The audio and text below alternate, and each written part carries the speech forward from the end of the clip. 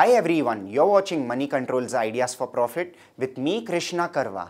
In today's video, I will be talking about Shaily Engineering Plastics, a mid-cap that seems attractive at current valuations. So, before we get to that, let me give you some key highlights about what this business is. Uh, starting with the fact that uh, the company is a niche player in the high-grade polymer processing space. Secondly, it derives 70 to 75% of its annual revenue from exports alone.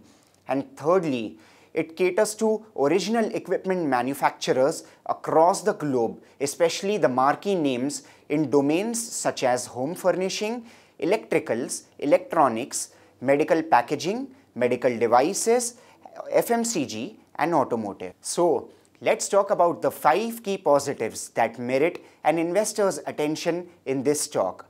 Firstly, a Swedish home furnishing major which constitutes nearly 50 to 60% of Shaily's top line is foraying rapidly into India eh, for its operations. Secondly, Shaily also possesses the ability to manufacture multi-purpose medical devices for a wide range of clients. Thirdly, uh, Shaily is also looking to increase utilization rates at its pharma packaging facilities, which would be in tandem with the increase in orders that it anticipates going forward. Fourthly, the labor and power issues which took a toll on the company's financials in the first half of this fiscal year would be resolved in the second half, which should bring back earnings visibility. And lastly, plastic usage has been finding increasing applications in domains such as FMCG, automotive, electronics and el electricals, which in turn gives Shaily a good opportunity to bolster its top line further through more orders.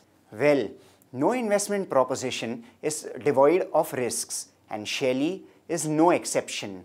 So two key risks that one must bear in mind include number one, crude price volatility can impact margins in the short term even though the company is able to pass on such price increases to the final consumer or importer.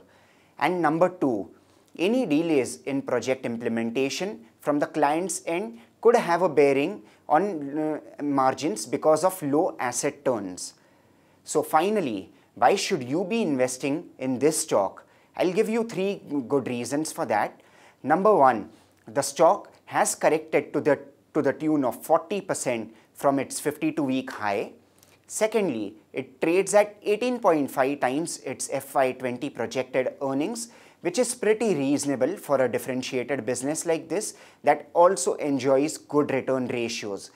And lastly, marquee investors such as Ashish Kacholia, Mukul Agrawal, DSP and HDFC Small Cap Fund have also bought stakes in this company.